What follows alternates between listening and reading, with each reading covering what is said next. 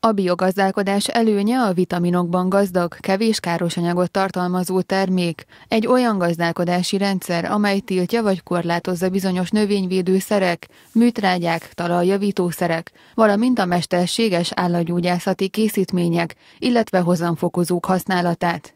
A keleti kapu ökotermesztők egyesületének célja, hogy a lakossági felhasználásban is egyre népszerűbbek legyenek az ilyen körülmények között előállított termékek fogyasztása, Életminőségünket meghatározza egészségi állapotunk, ennek egyik legfontosabb része az egészséges táplálkozás, amelynek alapja a jó minőségű termékek, közölte az Egyesület elnöke. Hivatalosan csak azok a gazdák ökotermesztők, akiknek minősítő bizonyítványuk is van erről, ennek azonban komoly feltételei vannak. Ha onnan kezdjük a nulláról, hogy korábban ez azzal a technológiával, iparszerű technológiával művelt föld volt, akkor legalább egy-két-három évet várnia kell, hogy a műtrágyák eliminálódjanak a talajba. Azért mondtam ezt a egy-két-három évet, mert attól függ, hogy zöldségről van szó, gyümölcsről van szó, vagy szántóföldi kultúráról van szó, és abba bio minősített vetőmagot kell vetni,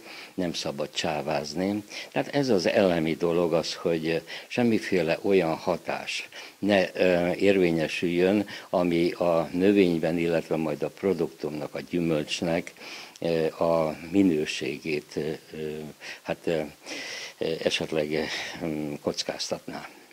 Ratkos József hozzátette, Indiában például már csak is a bioirányzatot követik a gazdák. Az ökotermesztőknél a hangsúly a megelőzésen van, ezért például nem ültetnek egy területre vagy egymás utáni területre olyan növényeket, amelyeket azonos károkozók pusztítanak. A biogazdálkodás így egy hosszabb, bonyolultabb folyamat a termelők számára. Nyilvánvalóan, hogy ez időigényesebb, munkaigényesebb, nem használhatjuk a gyomírtószereket, nem használhatjuk a rovírtó, rovarítószereket, csak a természetes forrásból származó alapúakat.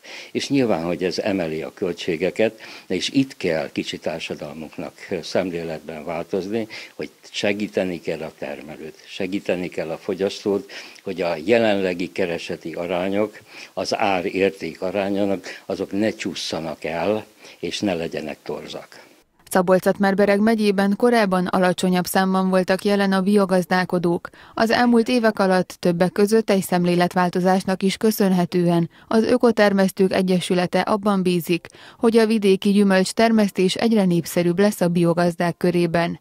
Ratkos József azt is hozzátette, remélik a jövőben az agrártámogatásokból is egyre nagyobb mértékben részesülhetnek majd ökotermesztők is.